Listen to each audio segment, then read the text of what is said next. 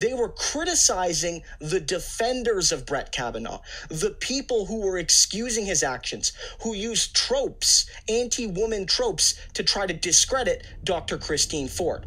And they're doing the same things, and Biden supporters are doing the same things right now to Tara Reade. And so when it came to choose between sticking up for your supposed values, which is to say, when women are brave enough to come forward and criticize powerful men, we should believe them.